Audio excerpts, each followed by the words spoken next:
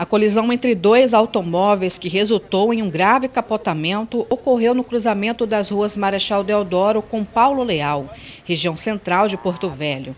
Ninguém se feriu. De acordo com informações de testemunhas, o motorista do veículo modelo Classic seguia pela rua Marechal Deodoro e teria avançado a preferencial, causando o acidente.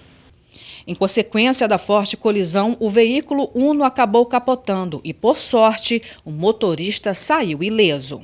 Esse empresário conta que acidentes são corriqueiros no cruzamento. Lamentavelmente, nós temos que dizer a você, a todo o povo que nos assiste, isso aqui é o cotidiano que nós estamos vendo.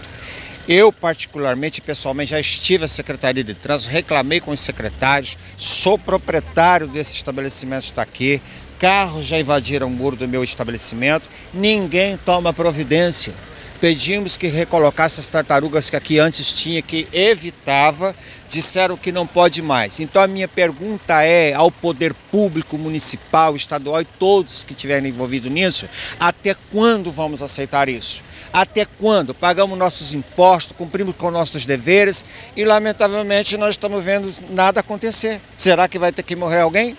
para que de repente o senhor prefeito incumba os seus secretários de cumprir o que lhe é devido? Agentes da Secretaria Municipal de Trânsito, Centran, sinalizaram o local até a chegada de policiais militares que registraram a ocorrência.